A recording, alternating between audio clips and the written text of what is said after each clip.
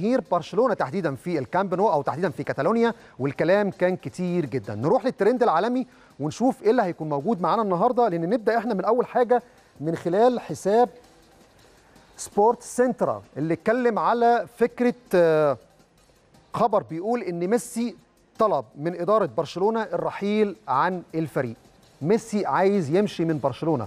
تخيلوا هذا الخبر وقيمة هذا الخبر على ال social media وعلى وسائل الإعلام وكمان إزاي سبورت سنترا من خلال حسابه. على تويتر اهتم من خلال هذا الموضوع. في فيديو كمان معانا النهارده هنستعرضه عشان الناس تشوف معانا إيه اللي متاح بالنسبة لميسي من خلال الصحف واللي اتعرض بالنسبة لميسي خلال الساعات القليلة الماضية وإزاي ليونيل ميسي بصورته باسمه كان متصدر كل الصحف العالمية والصحف الأوروبية خلال الساعات القليلة الماضية. ميسي يطلب الرحيل عن برشلونة خبر لم يكن يتوقعه أحد لكن 2020 دايما فيها مفاجآت كثيرة وفيها تفاصيل كثيرة جدا. طيب معانا برضو خبر مهم جدا وهو له علاقة بميسي ولكن هنا ده خبر له علاقة بالجماهير.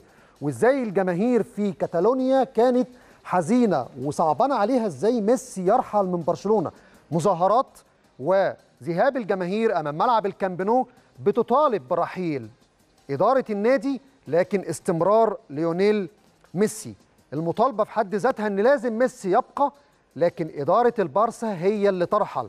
تخيلوا بهذا الشكل وبهذه الهتافات.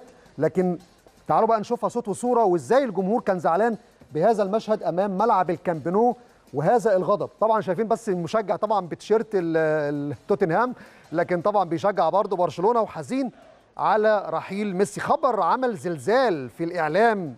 الرياضي في العالم بشكل عام ولا حديث يعلو خلال الساعات القليلة الماضية على رحيل ليونيل ميسي.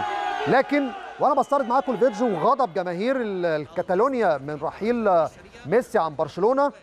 طبقا للتعاقد ميسي ما ينفعش يرحل إلا بموافقة الإدارة رغم وجود شرط جزائي لكن ده خبر مهم لازم موافقة الإدارة على رحيل ميسي. طيب دي كانت الجزء المتعلق بالجزء العالمي وهو رحيل ميسي. لكن مشاركات الجماهير النهارده جماهير